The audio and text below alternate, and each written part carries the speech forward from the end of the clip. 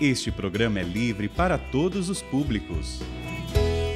Pelo sinal da Santa Cruz, livrai-nos Deus, nosso Senhor, dos nossos inimigos, em nome do Pai, do Filho e do Espírito Santo. Amém. Louvado seja Deus por esta oração que nós acabamos de cantar. É uma oração que nós acabamos de cantar.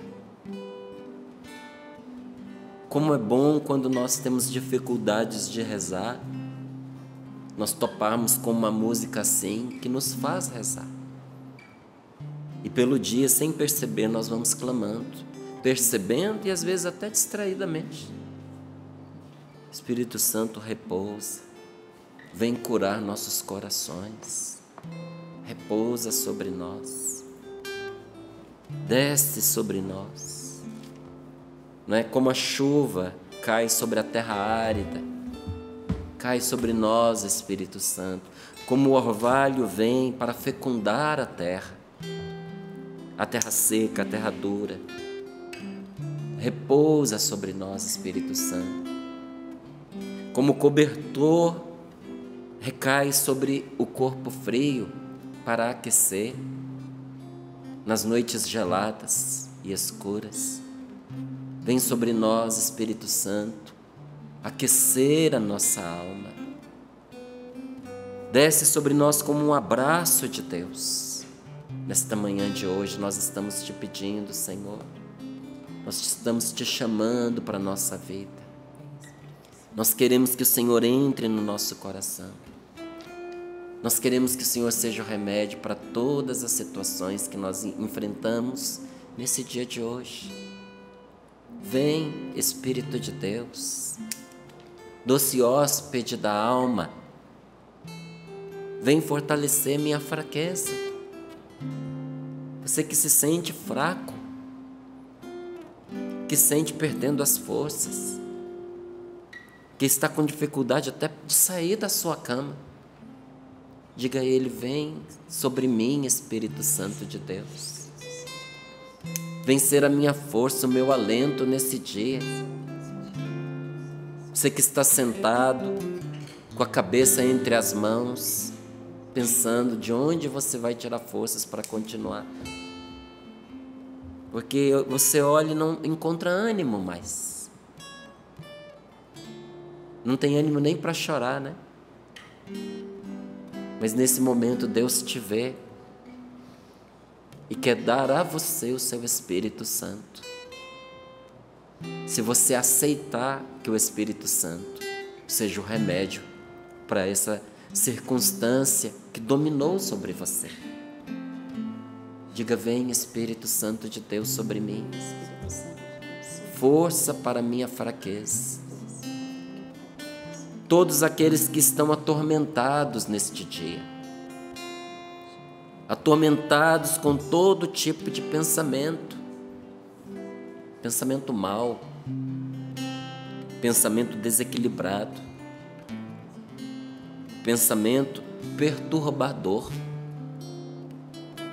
Você que às vezes sente que vai enlouquecer.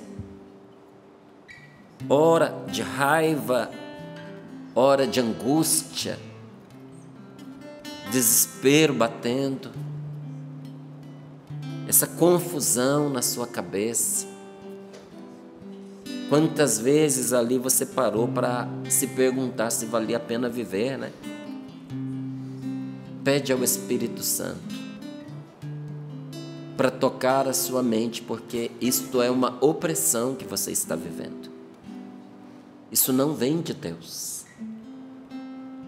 Por vezes o maligno, esse espírito, é um espírito diabólico que se chama Satanás.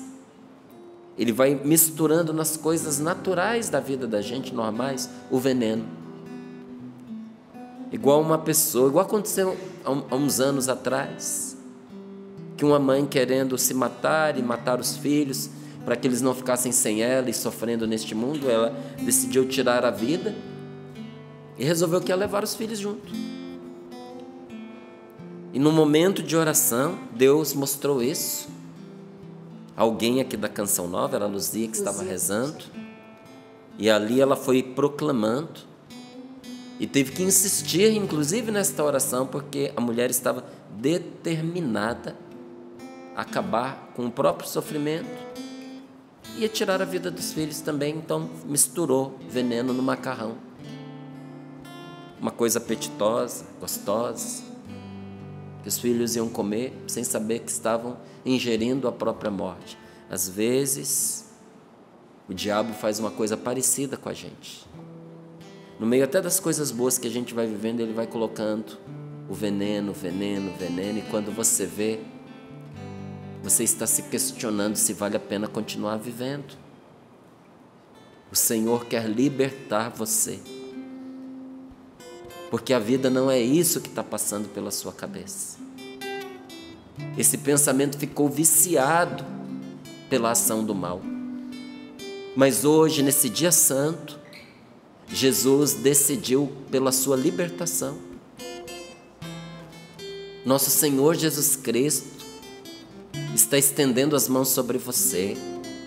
Você não pode ver isso, mas você está sentindo que mudou algo aí onde você está agora. Nosso Senhor Jesus Cristo está estendendo as suas mãos sobre você, está acabando com esta opressão na sua mente. O Senhor está tocando em muitas pessoas que já não conseguiam descansar, não conseguiam dormir a noite ia chegando, uma agitação ia tomando você. Porque às vezes a gente pensa que a agitação é própria de quem tem energia. Mas você chegava ao final do dia cansado, cansada, mas uma agitação interior que você deitava e não conseguia dormir. Senhor, nós te pedimos por todos aqueles que têm o seu sono perturbado sentindo uma presença maligna junto de si à sua volta. Por aquelas pessoas que são atormentadas com vultos, com a sensação de presenças no escuro, que tem sono perturbado e sonhos terríveis, verdadeiros pesadelos. Senhor, nós te pedimos agora, pelo teu santo sangue, Liberta estas mentes agora destes nossos irmãos. Porque nesse dia de hoje, ao se rebaixar para lavar os pés do ser humano, o Senhor destituiu todo o poder diabólico. Ao se rebaixar, o Senhor aniquilou o mal. Nós te louvamos, Senhor Jesus, porque o inferno foi vencido pela força da tua humildade. Então nós estamos te pedindo por todos aqueles agora, Senhor, que sofrem atormentados com a ideia de suicídio. Nós te pedimos, Senhor, eu te peço, Senhor Jesus, por esta pessoa que ocasionalmente parou nesse momento diante desta oração você que nem costuma assistir esse canal, mas parou agora para ver o que estava acontecendo. E você sempre trazia dentro do, do seu interior uma ideia de se vingar e depois se matar. Hoje nosso Senhor está te libertando dessa ideia que você tinha de fazer o mal e para não ter que pagar aqui pelas consequências disso de você tirar a sua vida. Não foi para isso que Deus te trouxe a esse mundo. O Senhor ama você. Deus nunca te abandonou. E por isso Ele está fazendo com que você veja que os seus pensamentos não estão ocultos aos olhos dele. E o Senhor Jesus te visita neste momento. Você que perguntava: onde está Deus? Se Deus existisse, eu não vivia assim. E o Senhor está te respondendo: Eu estou aqui junto de você agora. E estou lhe mostrando que o que passa dentro do seu coração não está escondido aos meus olhos. Eu vim para te salvar. E nós te pedimos, Senhor, por tantos que estão aflitos, esmagados, oprimidos debaixo de falsas enfermidades, doenças inexplicáveis, doenças que os médicos perseguem e não conseguem achar a causa, que não conseguem achar a raiz. Senhor, nós estamos pedindo por todos aqueles que há anos fazendo tratamento, só conseguem aliviar os sintomas, mas esse mal não se cura. Senhor, nós te pedimos agora que o teu Santo Espírito alcance a raiz de toda essa enfermidade. Enfermidades que entraram pelo sentimento de rejeição no ventre da mãe. Enfermidades que entraram através de mágoas, através da falta de perdão. Doenças que entraram por meio de propósitos, de votos secretos que foram feitos, determinações que você se impôs. Eu não vou mais amar esta pessoa, eu não vou mais me abrir ao amor das pessoas, eu não vou mais acreditar no que me dizem, eu não vou mais é, me sujeitar a uma mágoa como aconteceu desta vez.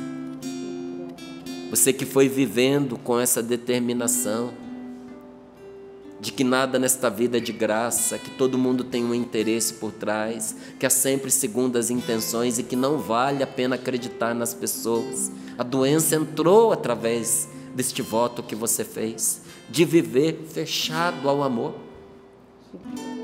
Senhor, nós te pedimos agora desata todos esses nós. Senhor, eu te peço, visita esta mulher que está doente por causa do casamento dela, por causa desse matrimônio enfermo.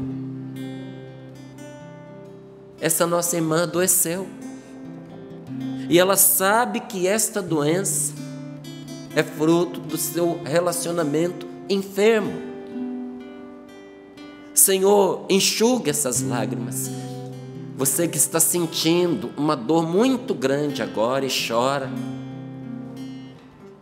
Você não sabe explicar se é tristeza ou se é alívio. E são as duas coisas. Porque o Senhor está tocando na tristeza que estava recalcada dentro do seu coração. Uma tristeza plantada, uma tristeza antiga uma tristeza que você aprendeu a conviver com ela. Você, mesmo nos dias bons, você estava sempre triste. E agora você sente que algo foi revirado dentro de você. E doeu. E você chora agora, mas ao mesmo tempo é um choro de alívio, porque doeu, pois o Senhor pôs a mão para curar o seu coração. Obrigado, Jesus nós te louvamos, nós te pedimos por todos aqueles que estão, Senhor, doentes, em leitos de hospital, em casa, em suas camas, apoiados em, em sua bengala, em sua muleta, em seu andador, que tem que ser suportado o tempo inteiro por causa de muitas dores e por causa das limitações impostas ao seu corpo. Senhor, nós colocamos diante de Ti aqueles que receberam notícia de um câncer e que estão angustiados, aflitos, entristecidos. Senhor, nós colocamos diante de Ti esta mãe que recebeu a notícia de que uma gravidez para ela é quase impossível, é muito difícil. Mas nós queremos proclamar diante desta notícia que para Deus nada é impossível. Obrigado porque o Senhor está consolando esta mãe e está colocando a esperança no coração dela, porque o Senhor a está visitando neste momento, ouvindo a sua súplica. O Senhor escutou as suas dores, escutou o seu gemido, escutou os seus clamores e veio atender você. Abençoa-nos, Senhor, a todos neste dia, por pela graça derramada neste dia, Senhor. Faz o teu milagre na nossa vida. Nós estamos pedindo. Hebreus capítulo 4, versículos do 14 até o 5, capítulo 5, versículo 10. Quanto a nós, nós, nós temos um sumo sacerdote eminente que atravessou os céus. É Jesus, o Filho de Deus. Por isso, porque Jesus atravessou os céus e nos defende, é o sumo sacerdote em nosso favor. Por isso, por essa razão, nós permanecemos firmes na nossa fé, professando a nossa fé, na nossa profissão de fé. De fato, não temos um sumo sacerdote incapaz de se compadecer de nossas fraquezas, pois ele mesmo foi provado em tudo, a nossa semelhança, sem todavia pecar.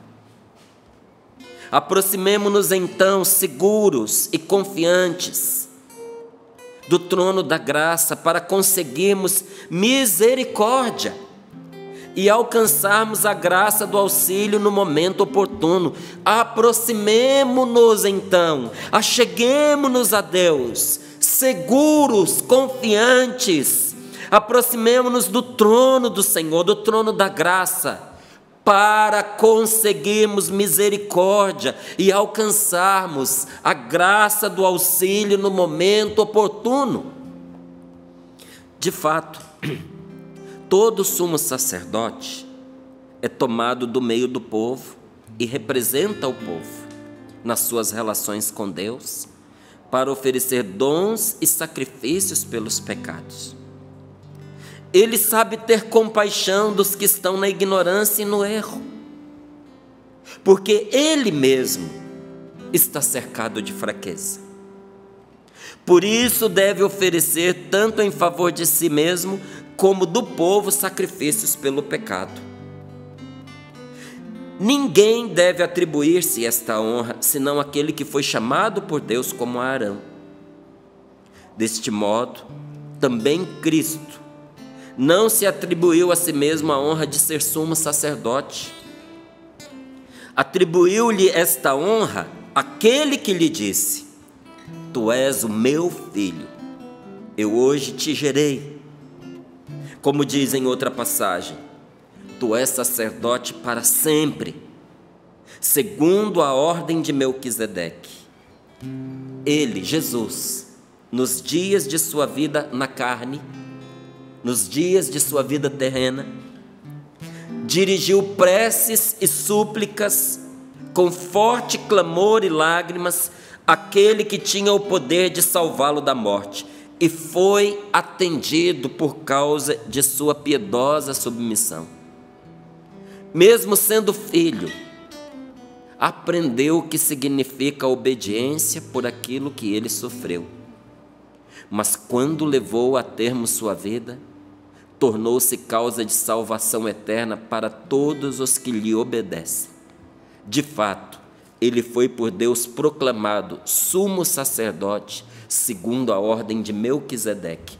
Palavra do Senhor. Graças, Graças a, Deus. a Deus. Graças a Deus. Não temos um sumo sacerdote incapaz de se compadecer das nossas fraquezas. Porque porque Jesus foi provado em tudo. Tudo que nós enfrentamos, Jesus enfrentou. E pior ainda, ele sabe o que é ser traído. Foi traído com um beijo. Foi traído por quem disse que o amava. Foi traído às escondidas. Não é? Às vezes a gente pensa assim: como é que essa pessoa pode me trair dormindo comigo na mesma cama? comendo comigo na mesma mesa, viajando comigo no mesmo carro. Ah, se você soubesse a dor que é ser enganado, eu talvez possa até não saber, mas eu lhe digo, eu sei porque na vida da gente é impossível a gente não viver é uma decepção, uma traição, um engano. Enquanto a gente conviver como gente, nós sempre vamos experimentar a decepção. Mas eu lhe digo, eu posso até não saber o que você está enfrentando, mas Jesus sabe. Traído com um beijo. Ele sabe o que é receber como pagamento do bem que ele fez, o mal em troca. Você que chora dizendo: Eu fiz tanto bem a esta pessoa, e olha o que eu recebi em troca.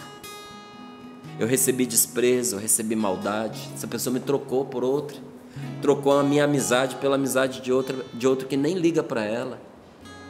Fiz tudo por esse indivíduo, fiz tudo por essa mulher. E quando apareceu uma nova amizade na vida dela, ela virou as costas como se eu nunca tivesse existido. É verdade. Jesus sabe muito bem o que é isso. Receber a ingratidão como paga pelo bem que fez. Por isso ele sabe o que você sofre. Ele não caiu em pecado, mas ele foi tentado até o limite que um ser humano consegue aguentar. Olha, ele foi tentado de uma forma extraordinária, mas teve que resistir, resistir com uma força humana. Ali foi Jesus humano que teve que aguentar e resistir ao pecado, porque ele também foi tentado pela fome. Ele também foi tentado pela ganância foi tentado pelas ofertas de poder, foi tentado a manipular as realidades é, espirituais em benefício de si próprio. Ele sabe o que é ser tentado pela angústia ao ponto de chorar sangue. Olha, eu sei que muitos de nós já viveu tristezas terríveis, mas eu não conheci ninguém que tenha chorado sangue. Talvez você tenha conhecido, eu não conheci. Alguém que a angústia era tão grande que a pessoa suou sangue. Você consegue imaginar o nível de estresse, de ansiedade, de angústia? Algumas palavras traduzem dessa forma: minha alma está deprimida até a morte. Jesus no, no horto, rezando, dizendo que ele estava experimentando uma profunda depressão. Nós não temos um sumo sacerdote incapaz de se compadecer das nossas fraquezas, pois ele mesmo foi provado em tudo, a nossa semelhança, igual a gente, contudo, sem pecar. Viveu tudo que a gente viveu, exceto o pecado porque essa escolha dependia dele como depende de nós. Nós só pecamos quando a gente decide ceder ao pecado. Jesus decidiu não ceder ao pecado. Mas no restante, tudo que eu enfrento e você enfrenta, nosso Senhor enfrentou. E sabendo que Ele sabe o que a gente sofre na carne, e que tem compaixão de nós, aproximemo-nos então seguros, confiantes se aproxime dele. Se aproxime de Jesus, seguro de que ele olha por você, confiante de que ele vai te atender. Nós não nos aproximamos, não é do trono da condenação, gente, nem do tribunal, do juiz condenador. Nós nos aproximamos do trono da graça é graça que nos espera para conseguirmos misericórdia. Você vai conseguir misericórdia. Você vai alcançar perdão. Mas precisa se aproximar de Jesus. Precisa se entregar ao Senhor Jesus. Porque é preciso que estejamos nas mãos dele para que ele nos liberte do mal. Nós temos que desautorizar o mal que um dia a gente deu autoridade sobre nós. Tem gente que dá autoridade ao demônio sobre a própria vida. Eu fui pregar um retiro e um rapaz me contou o testemunho dele nos intervalos do, do encontro. Todo lugar onde eu vou pregar, eu não fico escondido lá no palco, não vou para a salinha de pregador, não. Eu vou nos intervalos, eu vou encontrar as pessoas. E esse rapaz estava lá no encontro e diz: Olha, vim aqui aprofundar a minha vida em Deus e trazer para você o meu testemunho. Ele falou: Eu era tóxico dependente e eu afundei nas drogas de uma maneira absurda e decidi me matar. Aí ele contou que tinha preparado lá um, um, um coquetel de água sanitária com veneno de rato, remédio controlado, coisa que seria impossível ele escapar. E bebeu numa grande quantidade. Mas antes disso, enquanto ele bebia, para você ver que não é uma coisa normal, gente. Um rapaz bom, mas enquanto ele se preparava para a morte, ele se mutilou todinho. Ele me contou que se mutilou e mostrou, braço todo mutilado, enquanto ele entregava a alma ao diabo. Eu olhava e me perguntava: o que pode levar uma pessoa a entregar a sua alma ao diabo? enquanto ela se prepara para tirar a própria vida. E ele disse que ao cair desacordado, porque ele tomou o veneno, enquanto ele estava ali no chão, Jesus apareceu para ele, na sua mente, nos seus pensamentos. Ele ali desacordado, ele viu o Senhor. E Jesus disse a ele o seguinte: Somente eu posso tirar a sua vida e ninguém mais. Volta e ele disse que ao voltar, ele entendeu o que tinha acontecido. Rompeu com as drogas, estava lá no encontro, uma outra vida. Mas eu fiquei ali pensando até que ponto pode chegar um ser humano quando tira Deus da sua vida, ao ponto de dar autoridade ao demônio sobre a sua existência. E nós podemos fazer isso como ele fez, mas podemos fazer isso aos poucos, a conta gotas, nos enlaçando nas redes do pecado. Entregue-se a Jesus para desautorizar esse mal que você foi dando autoridade na sua vida para que ele venha desenredar você. Ele venha libertar você. Se aproxime do trono da graça, porque você vai encontrar misericórdia, vai alcançar a graça do auxílio no momento oportuno. Olha, até quando eu dizia aqui de rezar agora, por aquele momento que a gente, é, os dias maus, eu nem tinha associado com esta passagem, com essa parte da passagem. Claro que eu li, claro que eu me preparei, mas eu não fiz essa associação. Mas está aqui o Espírito Santo nos dizendo: nós vamos alcançar a graça do socorro, da ajuda no momento oportuno. O que a nossa fé faz conosco? Faz com que a gente não desista até que chegue o momento oportuno. Você vai desistir antes de chegar a hora oportuna? Dê a Deus, veja, a oportunidade. Esse momento oportuno é o momento da oportunidade. Dê a Deus a oportunidade de atender a sua oração. Como é que você vai dar a Deus essa oportunidade? Permanecendo firme até que chegue o momento oportuno.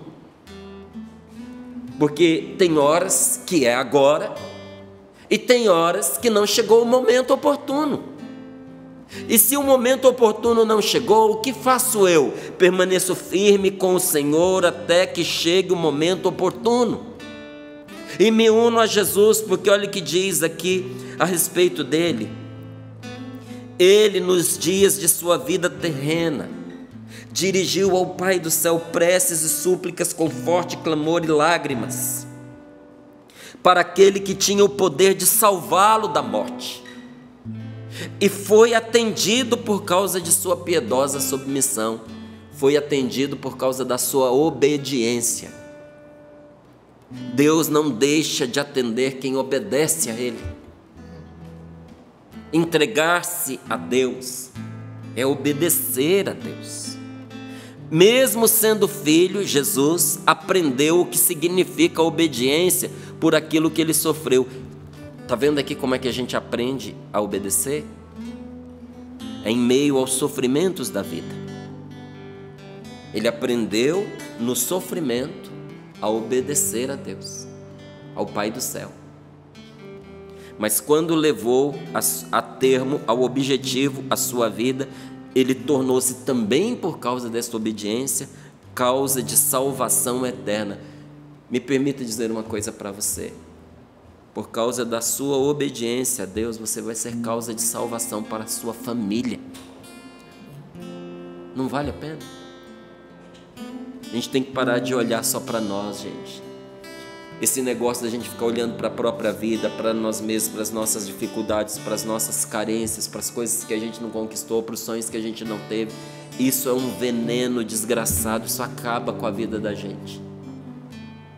Enquanto a gente fica olhando para o que não tem, aquilo que vem escapa de nós. Quando a gente começa a olhar para os outros, para a vida, para Deus, a nossa vida se desenrola. Agora, se você quiser se condenar, você quiser viver uma vida mesquinha, medíocre, uma vida que mal dá para ser chamada de vida, continue olhando para você, para os seus egoísmos, para a pena que você sente de você mesmo. Não, não vamos fazer isso não. Vamos começar olhando para aquele que nos cura. Jesus é a verdadeira serpente que foi levantada na haste para curar a todos aqueles que para ele olham. Como assim, Márcio? Quando Moisés ia com o povo pelo deserto, o povo começou a duvidar de Deus e a reclamar de Deus, dizendo: para que, que nós fomos tirados da escravidão do Egito? Era melhor ser escravo, sentado do lado das panelas de carne, alho e cebola, do que ser livre e morrer no deserto. Foi esse desgraçado desse Moisés que disse que ouviu a Deus, que trouxe a gente para morrer aqui. Será que não tinha cova lá no Egito? Precisava a gente morrer no deserto para ser pasto dos urubus, das, das aves. E essa conversa, porque a murmuração é uma conversa maligna, sempre atrai o mal para a gente. Acabou atraindo sobre eles umas serpentes venenosas do deserto que começou a dizimar o povo a picada era mortal. Eles percebendo que foi por causa daquele pecado que esse mal veio contra eles, correram até Moisés e pediram: ore ao Senhor por nós. Peça que Deus tenha misericórdia. E o Senhor deu uma ordem a Moisés. Olha a sabedoria da nossa igreja através dos sinais sagrados, não é? Até ponho aqui essa observação para muitos irmãos evangélicos que nos acompanham, porque a Sagrada Escritura dá testemunho disso, viu, meus irmãos? Há sinais sagrados, abençoados, que nos ajudam a orar, que carregam consigo a eficácia da oração, porque sobre eles repousa a oração da igreja.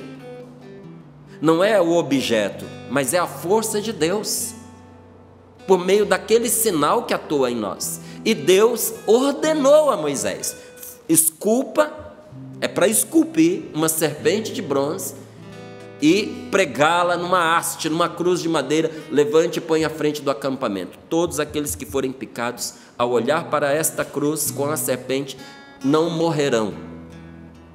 Então, não estavam isentos de serem picados, mas aquela picadura não poderia mais realizar a morte daquela pessoa. Jesus foi simbolizado por essa serpente no deserto. Ele é aquele para o qual, se nós levantarmos os nossos olhos, seremos curados e preservados da morte, de qualquer serpente diabólica venenosa. É Ele que extingue em nós o veneno do pecado e do egoísmo. É Ele que extingue em nós o que estava matando a gente. Você precisa olhar para Jesus senão você vai sucumbir na sua dor. Você precisa levantar os seus olhos para Jesus, porque Jesus desceu dos céus para curar a enfermidade do ser humano. Jesus desceu dos céus para curar a sua enfermidade, para curar a minha fraqueza e a de todos nós que estamos aqui. Para isso ele se fez homem, ele tomou sobre si os sofrimentos do ser humano. Jesus tomou sobre si os sofrimentos do homem, da mulher enfermos e tomou esses sofrimentos num corpo que estava submetido ao sofrimento, num corpo capaz de sofrer, num corpo que não tinha como escapar do sofrimento. E nesse corpo humano que ele assumiu, ele destruiu, destruiu as nossas más inclinações e os vícios que nos dominavam. Eu não preciso mais viver como um viciado se eu tomar posse da graça que Deus me deu, e se eu me unir a Jesus, também em mim o Espírito Santo destruirá toda má inclinação. E nós vamos ver o milagre que nós estamos celebrando nessa Semana Santa, porque o Espírito de nosso Senhor Jesus Cristo, que não pode morrer, seu corpo humano pode, pôde e morreu mas o seu espírito que não pode morrer matou a morte assassina. Quando a morte tentou se apoderar daquele que é o autor da vida, o veneno voltou-se contra ela. Imagine que ao picar a Jesus para envenená-lo, foi ela quem saiu envenenada pelo seu próprio veneno, sacrificado na cruz. Nosso Senhor nos libertou das seduções do mundo como ele fez ao tirar os israelitas do Egito.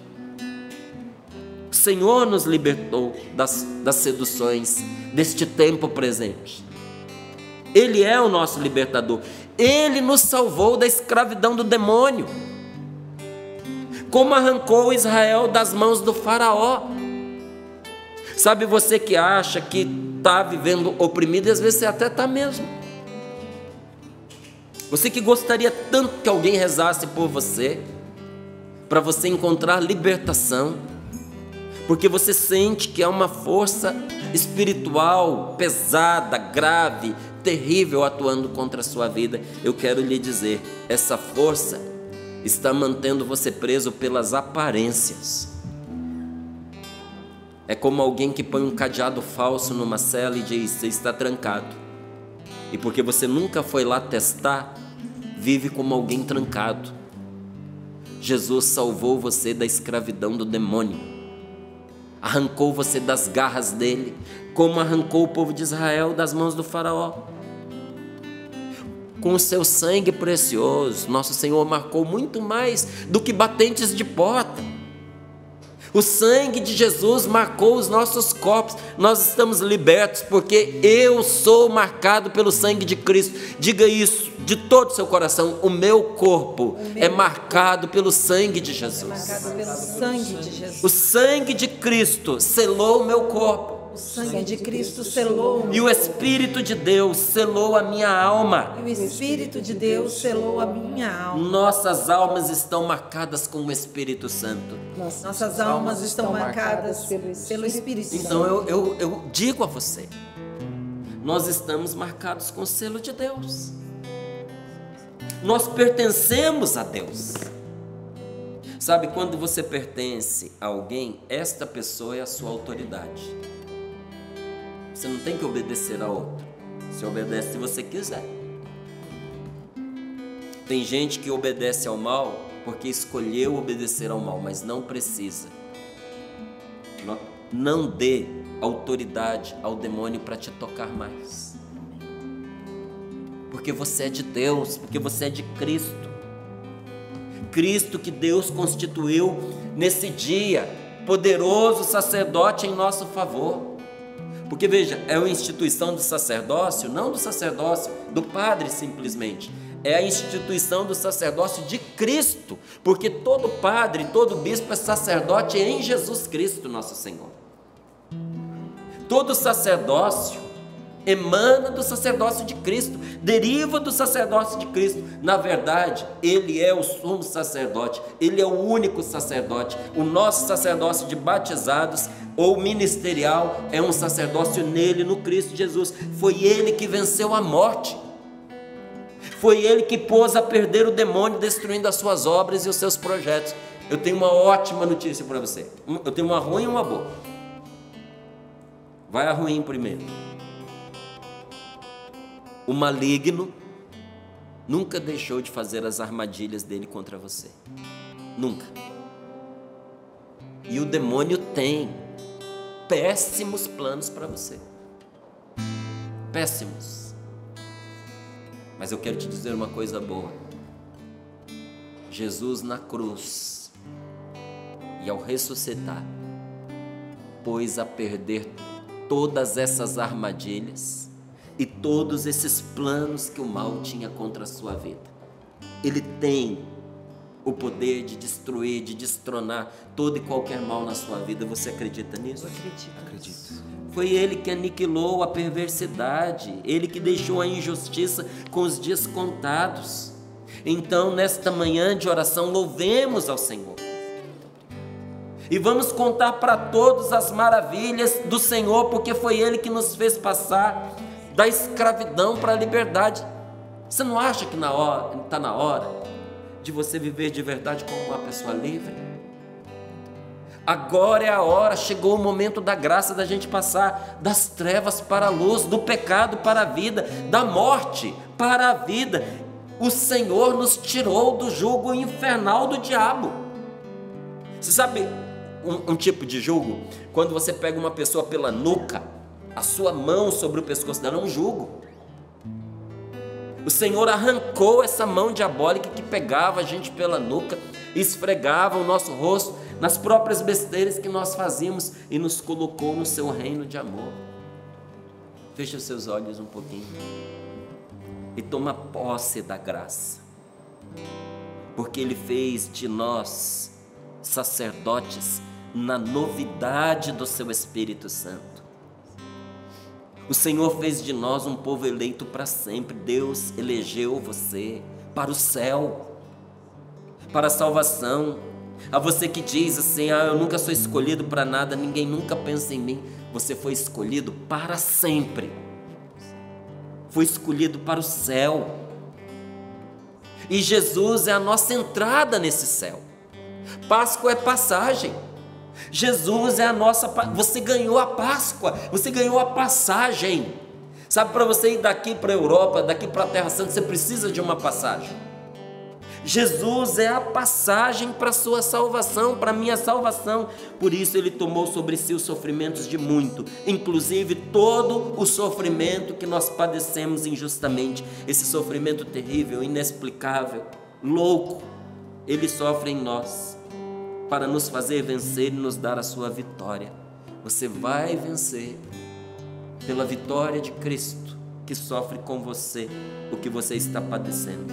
Então nós podemos nos achegar a Ele agora, neste dia sagrado, e pedir nesse momentinho de oração qualquer coisa que nos seja um bem. Se achegue a Jesus agora e peça qualquer coisa que te seja um bem. Mais ainda, nós podemos pedir sim qualquer coisa, mas nós podemos tomar posse de toda libertação e, graça e sacudir para longe essas correntes que nos oprimiam. Sacuda para longe de você essas cadeias que te mantinham preso. Se achegue a Jesus, nosso Senhor.